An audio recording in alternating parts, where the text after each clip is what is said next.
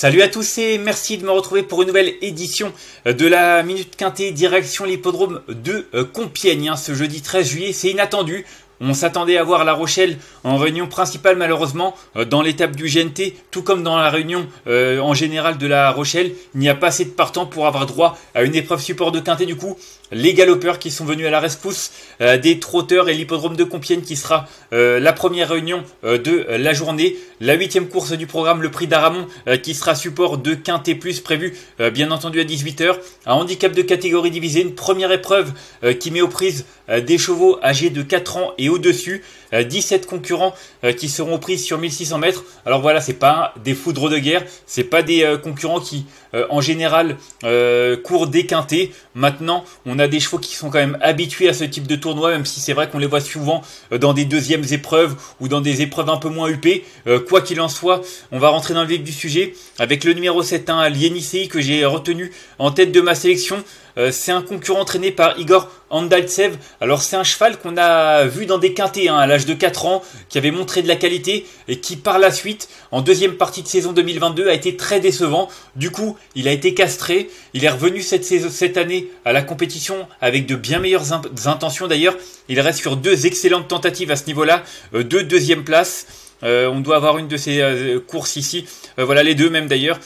C'était une course référence, le prix de la communauté de communes de l'ère cantilienne. Il battait 3-4 concurrents ce jour-là. Bon, c'était un parcours un peu différent. Hein. C'était 1900 mètres, je crois, sur la piste en sable fibré. Mais auparavant, il courait très très bien également du côté d'Amiens. Il n'y a pas de souci hein, sur l'aptitude aux pistes en gazon hein, pour ce concurrent. Il a un numéro très correct dans les stalles de départ. Il est désormais pris à une valeur qui lui laisse vraiment beaucoup de marge. Et pour euh, c'est un des prétendants à la victoire. Ensuite, en deuxième position, j'ai retenu le 5 On the Age, euh, une euh, candidature, une jument de 7 ans qui est revenue à la compétition également cette année, qui revient bien. Hein. Elle a couru à réclamer lors de son retour en piste cette année avant de revenir dans les handicaps et ça s'est pas trop mal passé finalement. elle reste sur une troisième place. Je sais pas si on l'a cette troisième place pour On the Edge.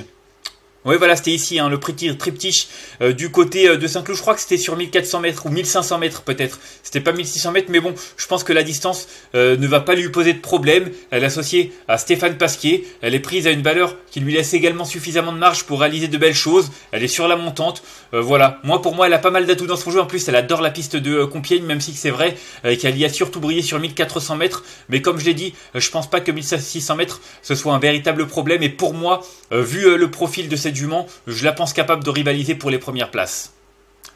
Ensuite, en troisième position, je suis parti en bas de tableau avec le numéro 16, Riak. Bah, regardez cette régularité, il n'y a pas grand chose à lui reprocher, hein, à lui reprocher à ce, à ce Hongre de 5 ans. Euh, il a couru euh, souvent dans des euh, cours de ce genre, vous le voyez, 29 juin, troisième du côté de Longchamp, battu par l'Ienisei le 12 juin du côté d'Amiens. Voilà, rien à lui reprocher. encore une fois, regardez, sixième derrière King Gartwood ou encore View. Pour moi, c'est un cheval qui est bien placé dans la salle de départ, qui est compétitif à ce niveau-là, qui a de l'expérience et qui est en forme.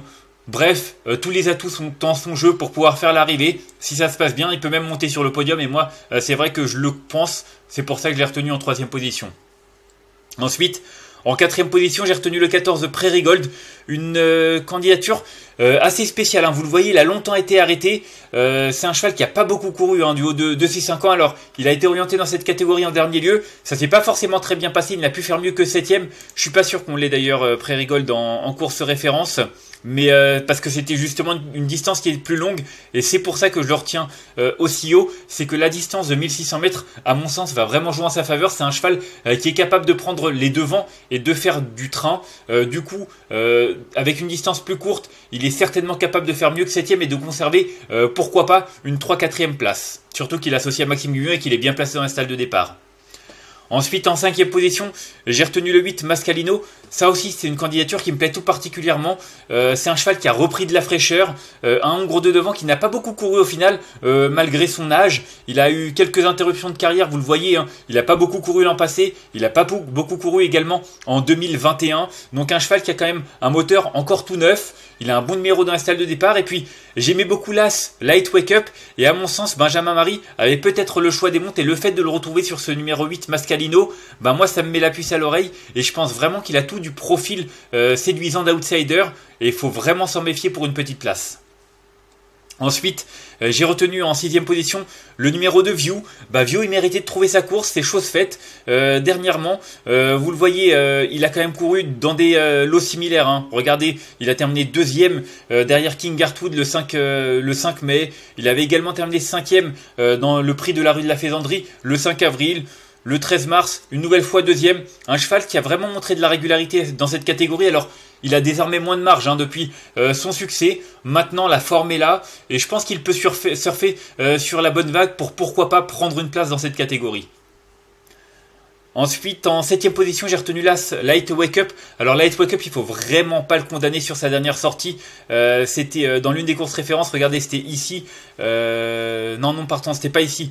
c'était, c'était sur une course à, à, Chantilly. Hein. C'était à 1900 mètres euh, dans, lequel il était euh, un petit peu hors distance. C'est un cheval qui auparavant avait non seulement remporté euh, son handicap sur ce parcours, mais il avait montré derrière qu'il était capable de bien faire encore en terminant troisième une nouvelle fois sur ce parcours. Donc vraiment l'aptitude à se tracer, il l'a. je crois d'ailleurs qu'on a une des courses références. voilà, c'était ici hein, le 9 juin. Voilà, c'est cette course dont je parlais avec Benjamin Marie. Et c'est vrai qu'il courait de première hein, après avoir réussi à remporter son handicap. Pour moi, il n'a pas une grosse marge de manœuvre, d'autant qu'il a numéro 12 euh, dans les stalles de départ. Mais voilà, sa dernière sortie, pour moi, elle compte pas et il faut le reprendre en confiance plutôt pour une place. Et enfin, en huitième position, j'ai retenu le 11 Cruella de Ville. Une Cruella de Ville euh, qui avait réussi à faire l'arrivée sur ce parcours. Regardez, c'était au mois d'avril. Elle, battait Hypnotized euh, sur ce même parcours. Et c'est vrai que depuis, elle a connu des fortunes diverses, cette concurrente. Mais à mon sens, pour son retour euh, sur euh, le tracé qui nous intéresse. Elle est capable de redorer son blason, d'autant que Pierre Bazir s'entend bien avec elle et qu'elle a également tiré un bon numéro dans les stalles de départ. Et enfin, en cas de nos partants, j'ai retenu le 13 Hypnotized. Hypnotized qui fait à peu près toutes ses courses, à mon sens. Euh, lui aussi va apprécier ce parcours et cette distance. Alors voilà, c'est une course qui est ouverte, comme je l'ai déjà dit. Numéro 9, c'est assez correct au final dans les stalles de départ. Et si ça se passe bien, je pense que elle est capable euh, de rivaliser face à ses aînés, pourquoi pas euh, de prendre une petite place à Bellecote. On va faire un petit euh, récapitulatif de ma sélection avec le numéro 7 Lienissei que j'ai retenu devant le 5 On the Edge. En troisième position, le numéro 16 Riak. Ensuite, en quatrième position, le 14 Prairie Gold devant le numéro 8 Mascalino. En sixième position, le numéro 2 View devant le numéro 1 Light Wake Up. Et enfin en huitième position, le numéro 11 Cruella de Ville. En cas de nous partant, le 13 Hypnotized. Ce qui donne en chiffres le 7, le 5, le 16, le 14, le 8, le 2, l'As et le 11. Et en cas de non partant, le numéro 13. En conseil de jeu, bah écoutez, pour moi l'Enisei, il est proche de sa course, il est pris une valeur avantageuse, il a un bon numéro dans la stade de départ. Muni de hier, pour moi, c'est une base absolue et un lauréat en puissance. Le numéro 5, On the Edge, qui est sur la montante, qui a réalisé un bon retour euh, dans cette catégorie et qui adore la piste de Compiègne, c'est également une très bonne base. Et puis le 16, Riak, qui fait toutes ses courses, euh, qui mériterait de s'imposer à ce niveau-là, qui est bien placé dans la stade de départ. Pour moi, c'est également un concurrent qui devrait réaliser une grande performance dans ce quintet. Donc 7, 7, 5 et 16, ce seront mes trois préférés. Bien entendu, c'est une course qui est quand même assez ouverte. Hein. Euh, je préfère vous le redire une nouvelle fois parce que euh, c'est toujours pareil que c'est handicap de seconde zone. On sait pas toujours trop à quel sens se vouer, mais en tout cas, euh, mes trois concurrents que je vous ai indiqués me plaisent tout particulièrement. On va faire un petit tour également du côté du quintet de ce mardi 11 juillet sur l'hippodrome de Châteaubriand. Amandina, qui a un petit peu endormi ses rivaux et qui s'est imposé de bout en bout avec une belle autorité devant le numéro 13, un filou d'Anjou, euh, qui court très très bien avec Eric Raffin. Là, Saudi, Audi Quick, qui a pas eu toutes ses aises en phase finale, mais qui parvient tout de même à intégrer le podium devant le 12, euh, Fragonardello, qui a bien sprinté pour terminer quatrième devant le numéro 3, Galantis, euh, qui surprend également à Bellecote. Du côté de nos deux rubriques, bah écoutez, c'était difficile de vous indiquer mieux que tiercé, sachant que les 4e et 5e places ont été euh, prises par des outsiders, mais il y a quand même deux trios de, chaque côté, quelques coups de cœur à l'arrivée. Une journée assez correcte hein, de la part de nos deux rubriques que vous pouvez tester à partir de 1 euro par mois. C'est l'offre découverte. C'est le premier mois et c'est sans engagement. Moi, je vous remercie d'avoir suivi cette nouvelle édition euh, de la Minute Quintée. Si vous avez aimé cette vidéo, n'hésitez pas à la liker, à la partager ou encore à vous abonner à notre chaîne YouTube en cochant la petite cloche. Euh, vous pouvez également laisser votre pronostic en commentaire. Il y a un tirage au sort parmi tous les commentaires chaque mois avec à gagner 6 mois d'abonnement VIP au site turf-fr.com. Moi, je vous retrouve demain euh, pour une nouvelle édition. D'ici là, je vous souhaite de bons jeux à tous. Bye bye.